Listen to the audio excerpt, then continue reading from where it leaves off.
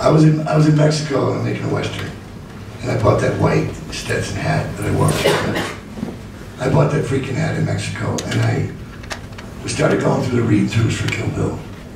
And um, I just was wearing the hat because it was my hat. All right, and I had long hair.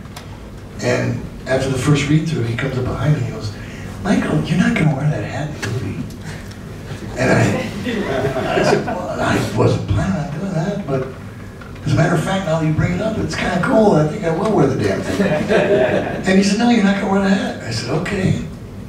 And he said, you're going to get a haircut too. And I said, well, I kind of like my hair long. And he goes, no, no, you're not going to do that. I said, well, okay. And then about three days later, he walks up and he goes, hey, Michael, you know what? I was getting my props. And he goes, it was in Culver City. And he goes, uh, you know, I can't picture you now without the hat. so you can wear the hat, and you can don't have to cut your hair because I, I picture you like that now. And so I thought, okay, this is great, right? And so we go and shoot a bunch of stuff with me in the freaking hat. And then he comes to my trailer when we're out in, in Bakersfield or Barstow. And he comes out, he said, you know, I'm like, what, what? And I open the door, it's him.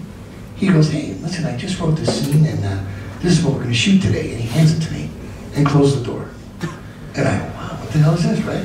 And I sit down and I read it, and it's Larry Bishop telling me to take off the hat. yeah, and I had to do it because it was in the script. Because I really didn't want to take off the hat. Me and Michael Madsen, I didn't want to take off the hat. And he turned it into a butt thing, see? He psychologically used me to play the moment. Because when I take it off, I didn't want to take it off.